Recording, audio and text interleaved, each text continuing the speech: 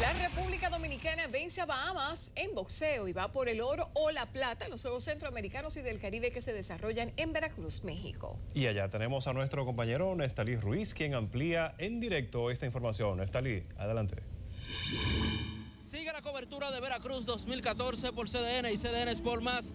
El boxeador Raúl Sánchez logró una victoria ante su rival de Bahamas en una decisión unánime, bastante reñida la pelea, todo el camino, independientemente de la decisión, hay que decir que fue una pelea en la cual ambos peleadores estuvieron tirando los puños, estuvieron golpeando, el público se levantó varias veces de sus asientos y al final del encuentro hablamos con este boxeador al cual apodan Omega y él dice que es el fuerte. Una pelea bastante muy dura, vegetadora, el boxeador estaba muy, muy fuerte, pero yo me preparé y aquí estamos.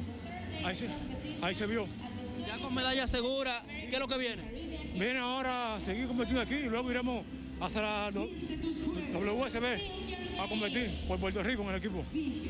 Sí. Cuéntame de esta pelea, ¿cuál fue el momento más difícil? Ahora, el último round, el hombre sí me tuvo arriba y arriba y arriba, pero logré sa- sacar la mayor parte y me dio buenos resu- resultados.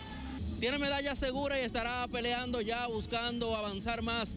Piensa en oro, piensa en plata este peleador dominicano y así anda el boxeo criollo y la delegación dominicana en los Juegos Centroamericanos y del Caribe. Ustedes continúen con esta cobertura desde Veracruz en CDN y CDN Sport Más.